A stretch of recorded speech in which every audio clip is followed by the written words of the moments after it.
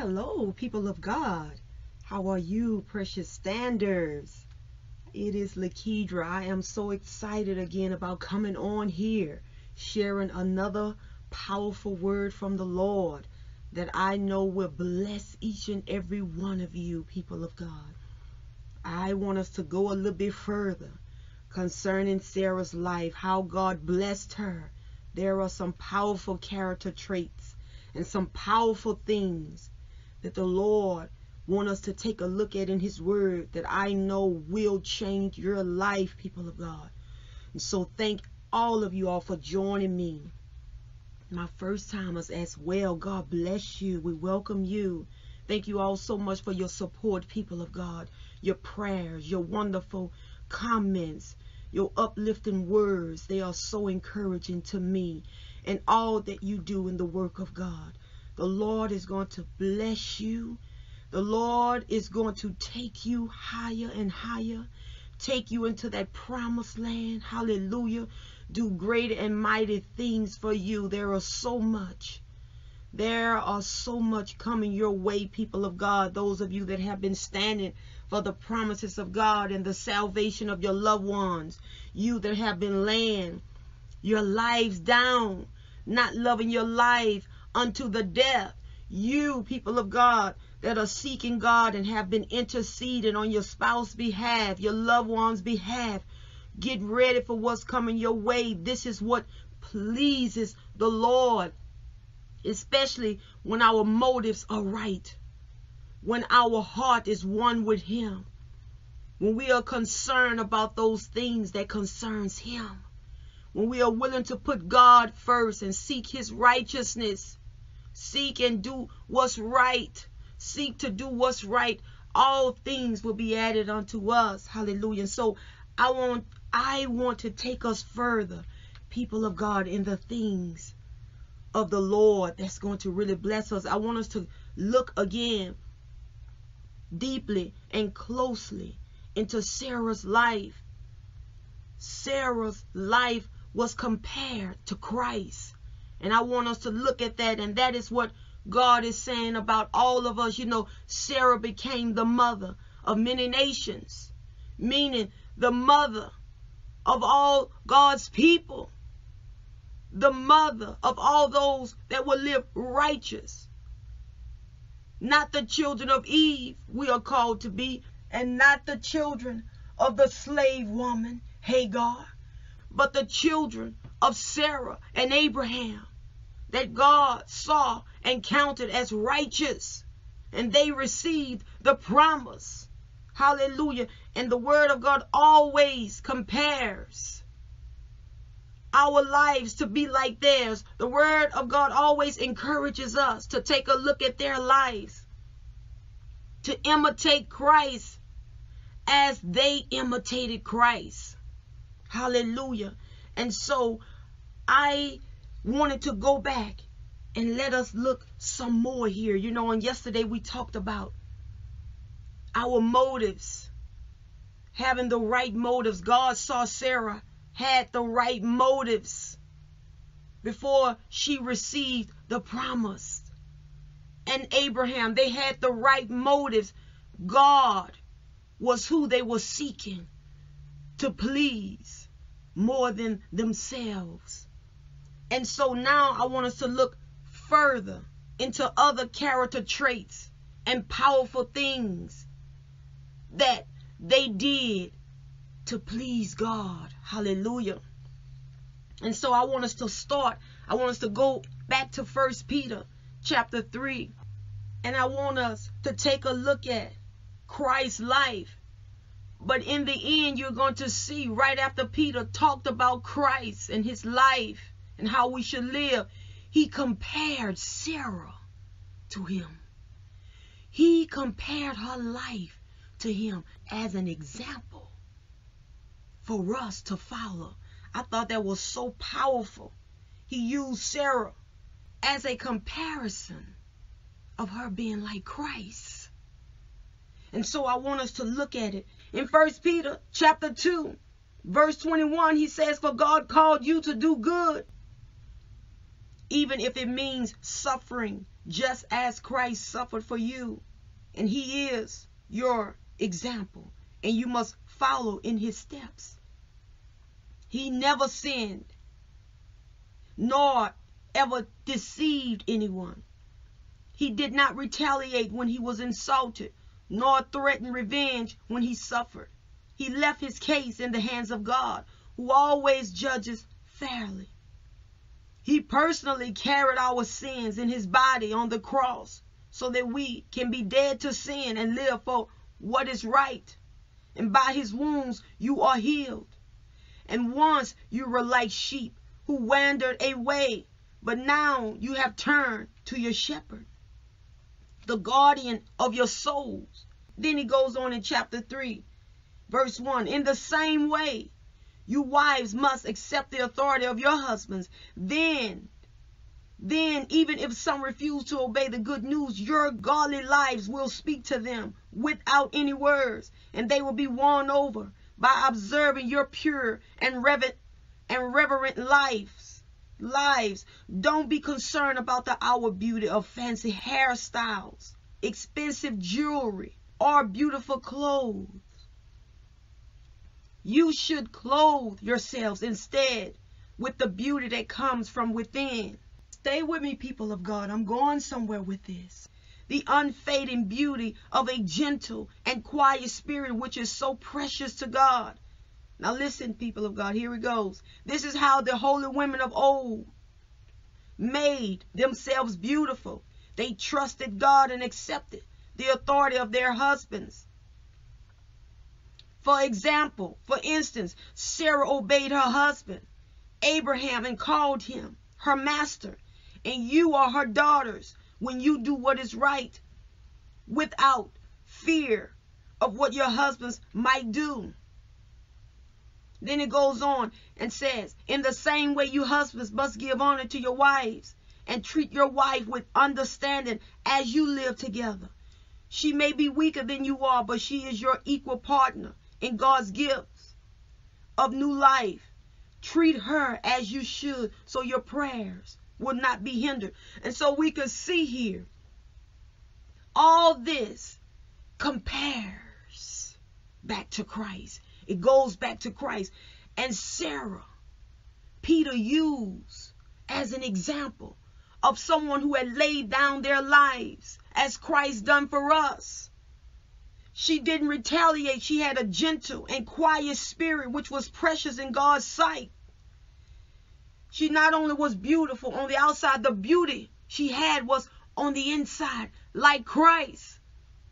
Notice, people of God, how Peter used Sarah as an example, who is the mother, who became the mother of many nations, meaning who God wanted all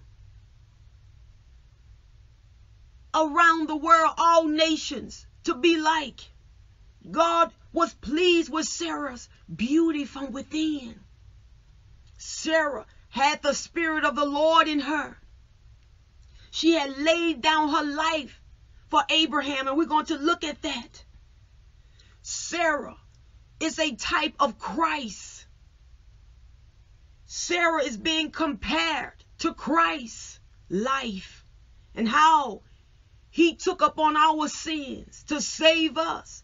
How he laid down his life for us, who was away from him, who was walking in rebellion. And so we could see Sarah was like that with Abraham. She surrendered and submitted to him. She saw him as her head and she was willing to lay down her life for him. And she done this. You all remember the story. We talked about it on yesterday when Abraham's life was in danger, when they went back to Egypt, during the time of famine, when they was in when they had to go to Egypt.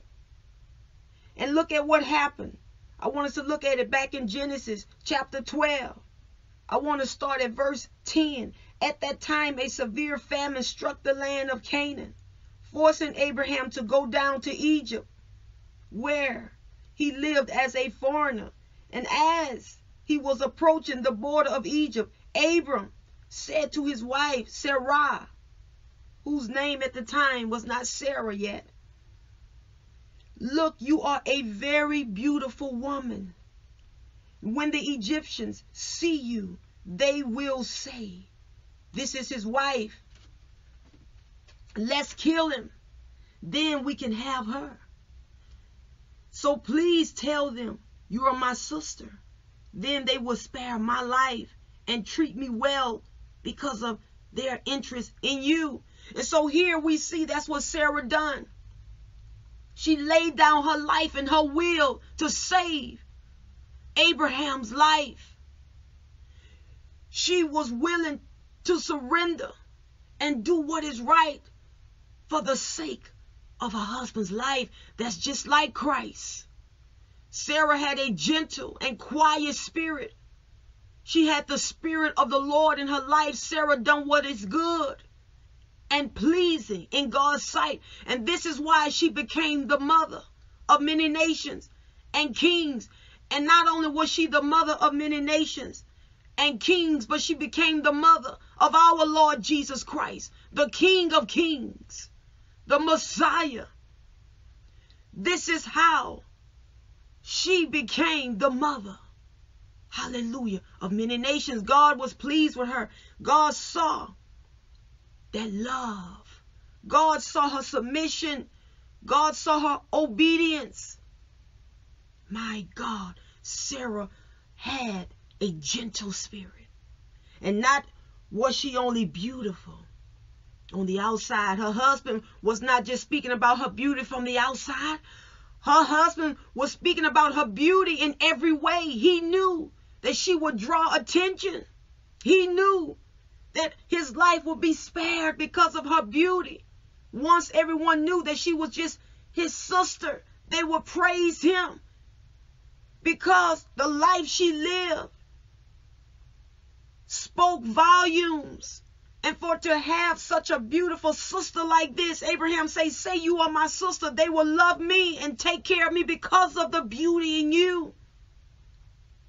And this is what happened with our Lord Jesus Christ. It was because of his beauty and righteousness that God spared our lives. When we got into trouble, God delivered us from our sins. When Adam and Eve sinned against God, sin came into the whole world. But it was through Christ's beauty God spared our lives. And Egypt represents the world, a place of bondage. This is why the Bible calls Egypt in the word a place of bondage, the house of bondage where the people of God was ruled under pharaohs, bondage and power that shows us he was like a type of the enemy, a shadow of the enemy. And so we can see that when Abraham goes down, him and Sarah, to Egypt, God was showing us how his people, when they were in Egypt, in the place of bondage, the place of the world, the place of sin and death, but there is one with them who will save them and deliver them. One who went with them in that same place to deliver them. And that's what happened with Sarah who was long with Abraham. She represented Christ, who was long with him, but she was willing to lay down her life and through her laying down her life. This is what would save him.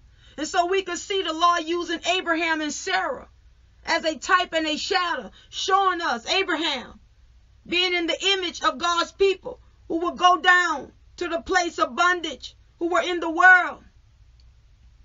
But yet, Sarah represents a Christ a type of Christ who will lay down her life to bring him out, to bring God's people out, just like Christ done for us. Hallelujah.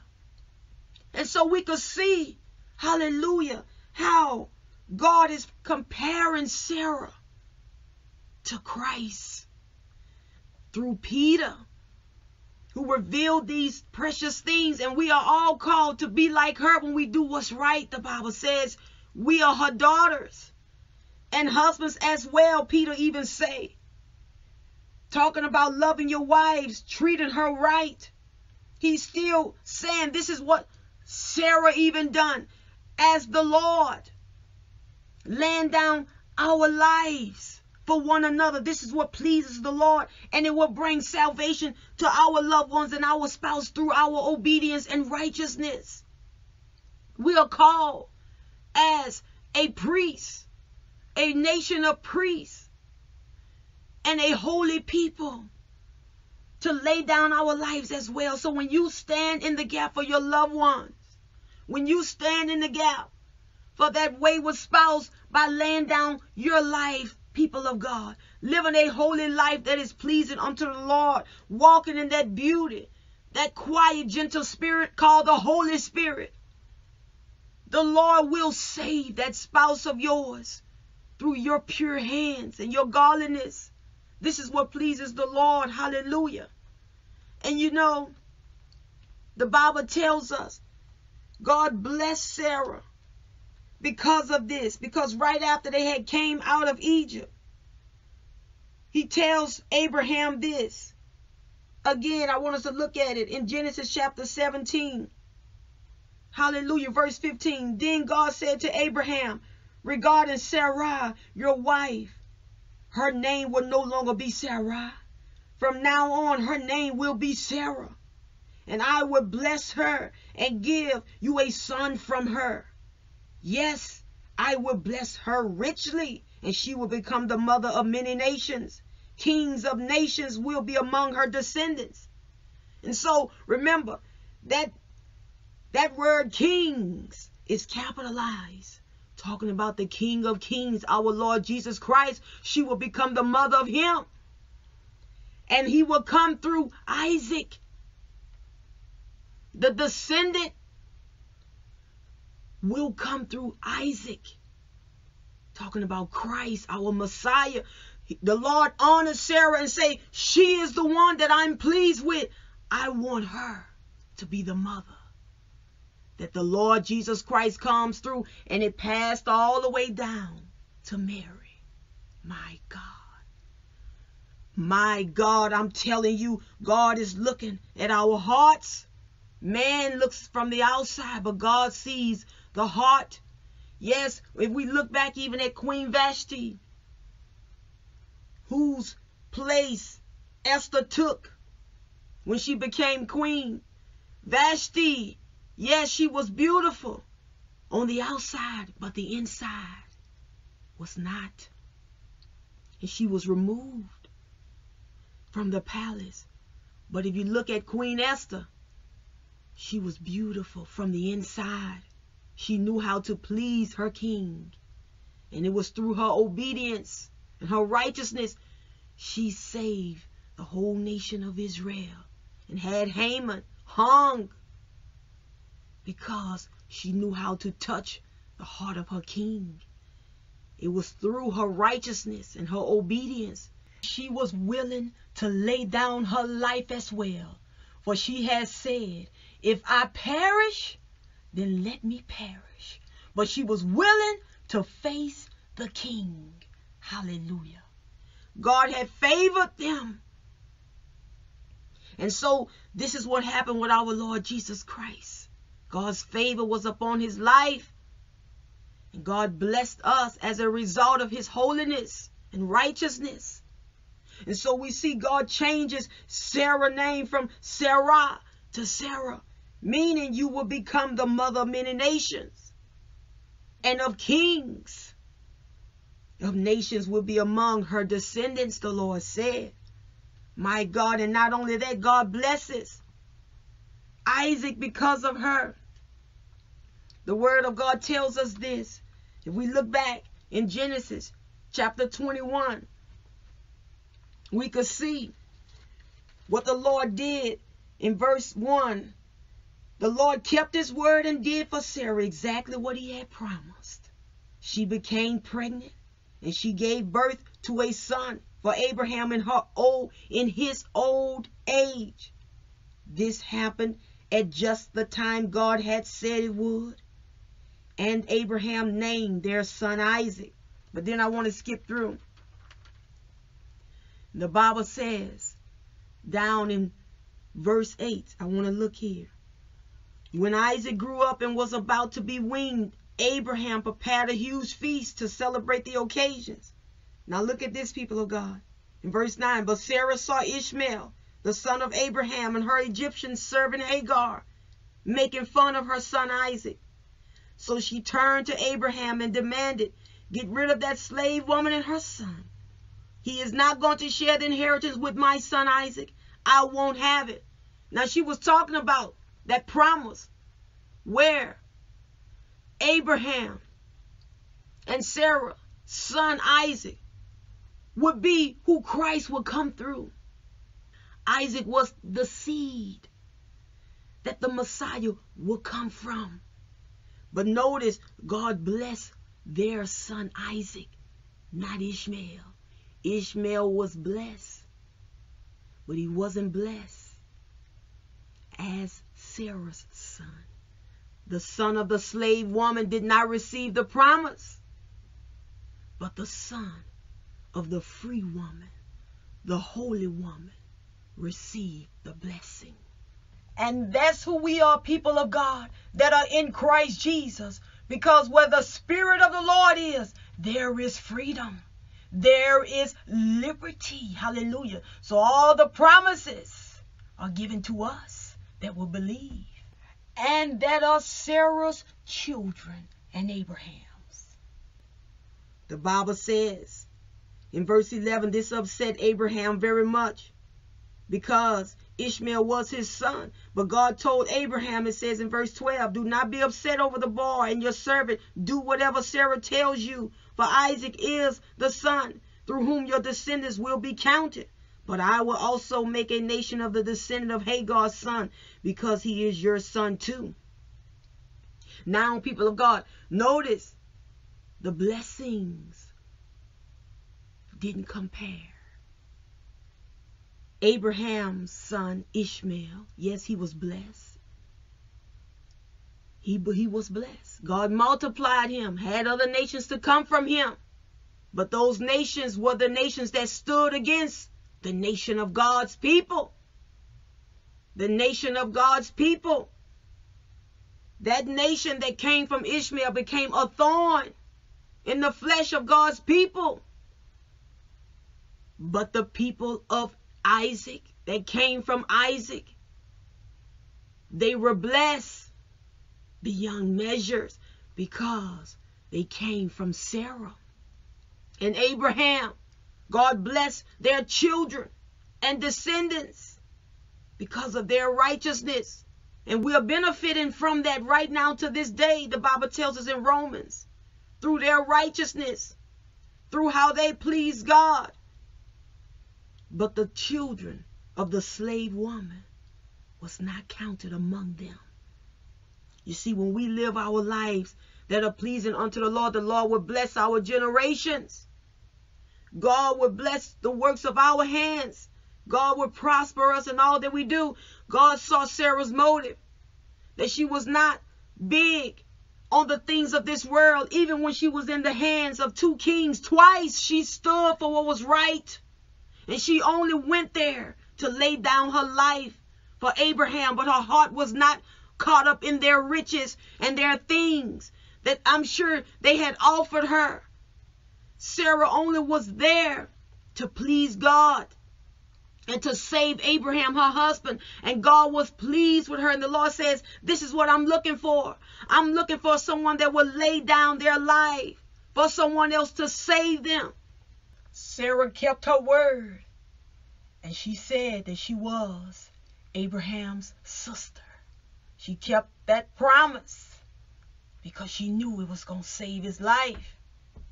And that is what pleased God. Sarah was tested in that area, just like we are being tested even now. God is looking at our lives. How are we pleasing? How are we pleasing Him? Through the Holy Spirit's guiding and leading us. This is what the Lord Jesus Christ done for us. And so Peter used Sarah as an example. He saw that Sarah's life was as Christ. And this is what God wants us to do. And Peter is saying God will bless us for doing it. If we look back in 1 Peter chapter 2, verse 21, he says, For God called you to do good, even if it means, even if it means suffering, just as Christ suffered for you. And he is an example, and you must follow in his steps. But then when we skip down, we see he uses Sarah as that example, being as Christ, who laid down her life for Abraham. And God, we could see, showing, showed us how Abraham's life was spared. But when Pharaoh got word that Abraham was not Sarah's brother, he was her husband, God still spared him. God still came through and rescued them and got them out of there. God was testing Sarah. He saw what was in her life. He was looking to see what was in her. God saw what was in her. He was testing them along the way. Looking for what was in their heart. God was trying to see what would Sarah do in that moment. What would she do if she was given over to save? What would she do? Would she lay down her life? Sarah laid down her life. God was looking to see in that situation that Sarah got caught up in. What decisions will she make? Will she say no to her husband? Or will she be willing to lay down her life? And when God saw that, God blessed Sarah and she became the mother of many nations. And not only did she do it once, but she done it twice. God was searching Sarah's motives.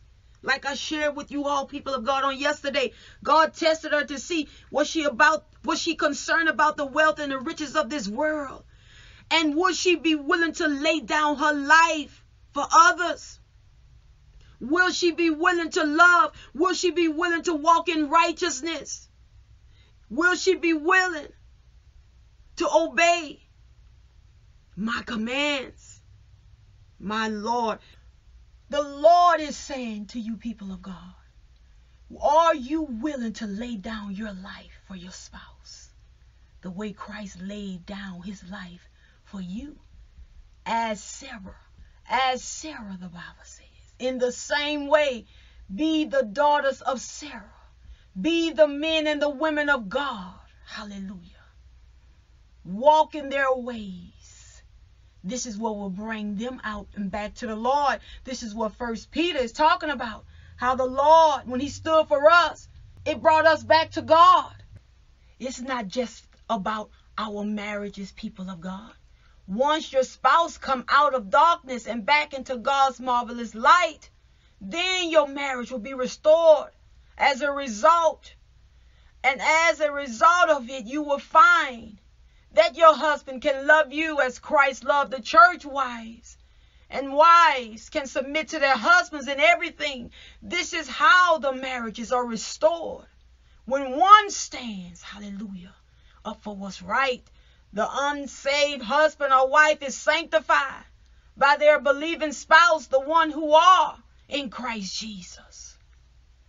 And remember the word tells us in First John chapter 3 John the Apostle says, Dear friends, in verse 21, if we don't feel guilty, we can come to God with bold confidence and we will receive from Him whatever we ask because we obey Him and do the things that please Him. And this is His commandment, He says. We must believe in the name of His Son, Jesus Christ, meaning follow Him, follow Christ, and love one another, He says just as he commanded us. And those who obey God's commandments, it says, remain in fellowship with him and he with them. And we know he live in us because the spirit he gave us lives in us. And so he's saying the Lord will be with you. If you obey him, when you obey his commandments, he will be with you. He will bless you. He will prosper you. He'll give you whatever you ask. He'll even save others. He'll save that loved one because of you. He'll give you whatever you ask. And this is why the Lord called Abraham a friend. The Bible says it in James because Abraham obeyed God and even Sarah. And the Lord Jesus Christ even tells us that all those who obey him are his friends and love him.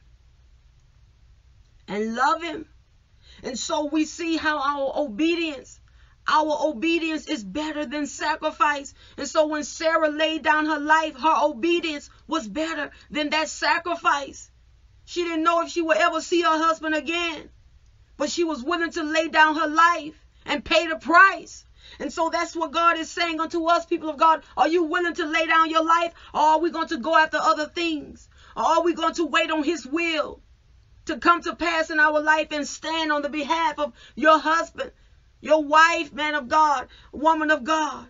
Lay down your life. The Word of God is telling us this that this is what pleases the Lord when we walk uprightly before Him so that others could come out.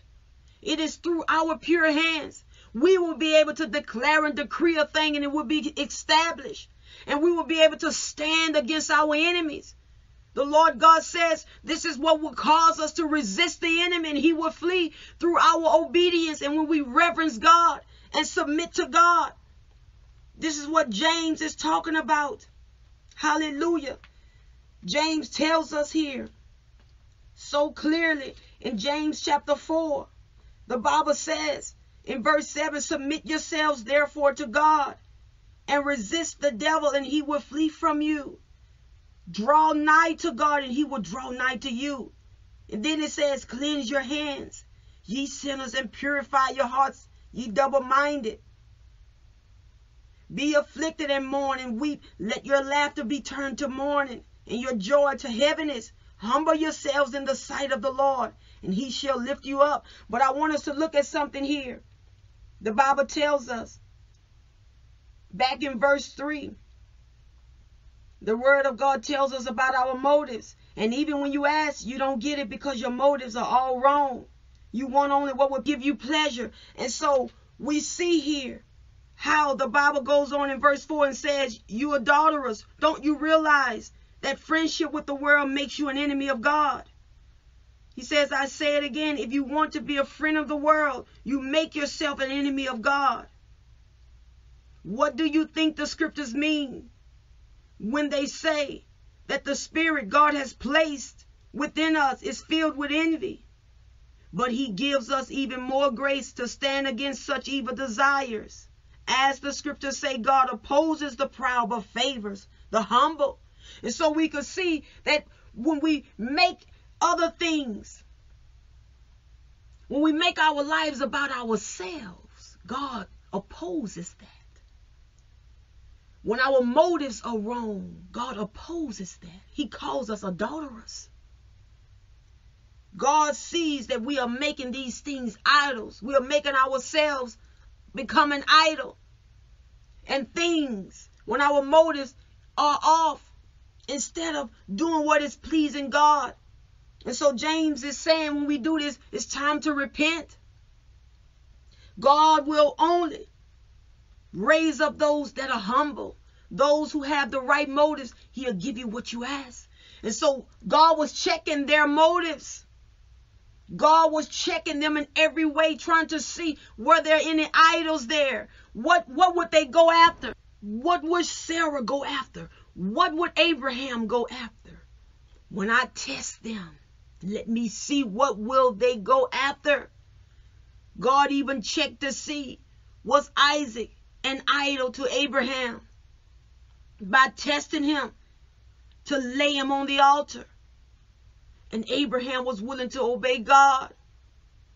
God checked Sarah's motives to see was she someone that would go after the, the riches, the riches of Egypt Would she go after the riches of kings? And also, what is her life about? Would she be willing to lay down her life? You know, yes, she was given over to kings, but that's not where her heart was. It wasn't about what they had. Sarah was laying down her life to save her husband. Sarah was obeying God. It was about God's will.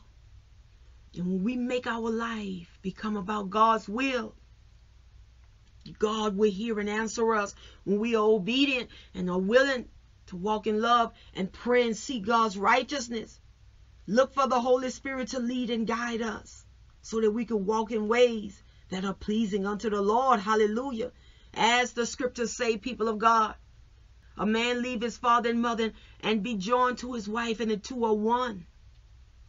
This is a great mystery, but it is an illustration of the way Christ and the church are one. Hallelujah. That promise is coming to pass. God will give you what you ask. God is willing to bring that spouse out. In fact, it is already done. God is just looking for our obedience unto Him and trust in Him. Trust in Him and seek to do what is right. The Bible tells us this in Matthew chapter 6, again in verse 33 Seek the kingdom of God above all else and live righteously, and He will give you everything you need. He will bless your life, people of God. He'll bless us in all that we do. Let that be your main goal and focus. Having the character of Christ. Having the character of Christ in us and not the things of this world, not ourselves, but willing to lay down our lives unto the death. Hallelujah. And love not our lives unto the death. Praise the Lord. This is how we overcome the devil. The Bible tells us in Revelations chapter 12, verse 11. They overcame him, the devil, by the blood of the Lamb and the word of their testimonies. The Bible says, and they love not their lives unto the death. They were willing to lay down their lives, and this is what we saw in Sarah. God blessed her. Hallelujah. So get ready, people of God, for what's coming your way. Your obedience and reverence unto the Lord. Hallelujah is what he's looking for. The promises has already been given. They are yes and amen to those that are in Christ Jesus, meaning those that obey Christ Jesus, those that love him, those that walk uprightly before him, those that have faith in God. For without faith, it is impossible to please him. Hallelujah. And let us keep a heart of repentance. It's not that we're not going to make mistakes. God knows we're going to make mistakes. But it's the heart he looks at. He's looking for those that are willing and obedient, those that want help to do what's right. God looks at that. And he'll come along and help us. When we make mistakes, ask God to forgive us, dust ourselves off. Hallelujah. And remain humble under the mighty hand of God, and He'll give us power over the enemy to resist the devil and make him flee. Hallelujah. And now I'm going to pray. Hallelujah. Thank you, Lord Jesus. Hallelujah. Thank you, Lord God. Thank you, Lord Jesus, for your goodness and your mercy. Lord, we just receive the blessings. We thank you for them, Lord. Thank you for what's coming our way, Lord. Thank you, Lord Jesus. Hallelujah, that our spouse are coming out. Lord, thank you that you are turning hearts back to you. You're saving their lives. You're blessing our marriages. They are going to be greater than they ever was, oh God. Oh God, we thank you for restoration and healing. Thank you for blessing our homes, our families. Lord God, thank you, Jesus, for your goodness and your mercy that shall follow us all the days of our lives. Lord, thank you that you are rebuking the devourer, Lord God. You are setting the captives free. You're changing hearts and minds. Thank you for the deliverance, oh God, that you're bringing forth in Jesus' name through the blood. Lord, we give you the praise, oh God. Continue to bless marriages, Lord, and bring them out. Continue, Lord God, letting your will be done and causing marriages to illustrate Christ and the church united into one where a husband love his wife as himself and the wives submit to her husband and love him and support him in everything as the church does unto Christ. Lord God, we love you. We thank you. We honor you and worship you. And also, Lord God, bless the works. Bless the workings of your people hands and bless their seed, Lord God, many that have soul. Lord, I give you the praise. Lord, whatever they are believing and asking you for, may you multiply. Lord, I stand in agreement with them in Jesus' name. Thank you for multiplying, multiplying it back 100 fold in return.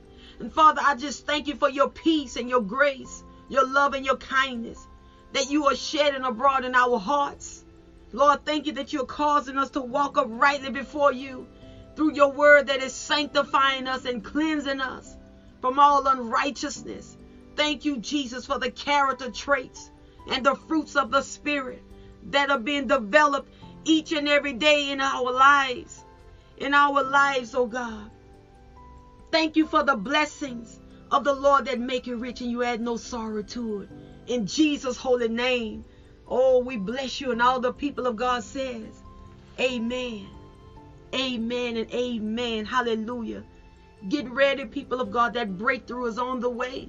Remember that God loves you and I love you too. And until next time, bye bye.